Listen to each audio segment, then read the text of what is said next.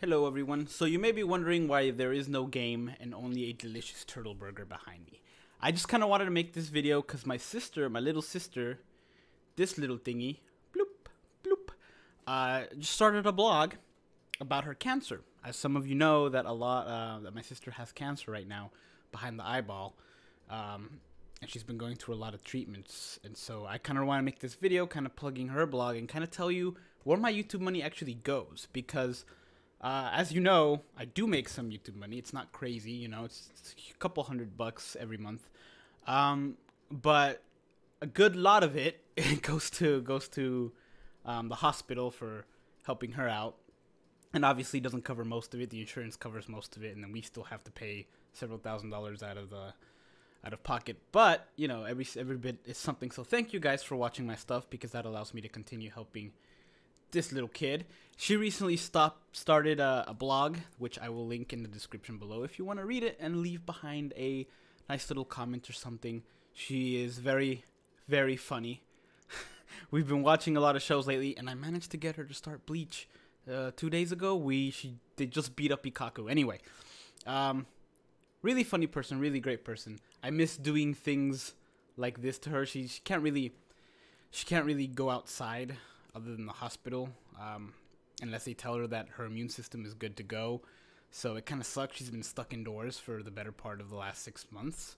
She's got um, another five to go till October to go. So from the from then it'll be uh, uh, she'll be able to get out. But yeah, she's had chemo almost every week. Sometimes several times a week. There are days she goes. She gets five days in a row. In fact, today, right now, actually, as I'm recording this, they're in Dallas uh, doing three rounds of chemo. That usually makes her not be able to eat. She won't be able. She'll probably be able to eat today because it won't affect her. But all day tomorrow, anything she'll eat, she'll throw up. All day the next day, and the day after that as well. I think it's it's it's a long, several days before she's actually even able to eat or hold anything down. So it really is hard on her. She gets a lot of rest. That's why she's been watching a lot of anime because usually she doesn't want to watch anything with me but now she has no choice. but she likes the stuff, and uh, and uh, you know we're praying for her. She, will she'll get better. Everything's looking up, but it still kind of sucks for her. Um, but I hope she gets better because even though you know this is her, but she doesn't look like that anymore because all of her hair is gone.